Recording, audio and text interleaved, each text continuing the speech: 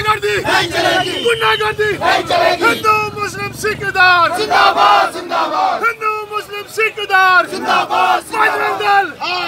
بجرنگ دل! بجرنگ دل!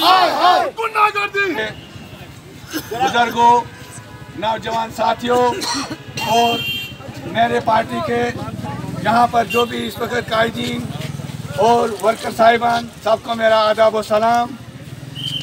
جیسا کہ آپ سبھی حضرات بخوبی جانتے ہیں کہ ہمارے پی ڈی پی کے قائد اور اشتوار کے سپوت جناب فردوس احمد ٹاک صاحب کو رات بجرنگ دل کے لیڈروں نے اور ان کے ورکران نے، گنڈوں نے ایک قاتلانہ حملہ جموں پریس کلب کے باہر کیا۔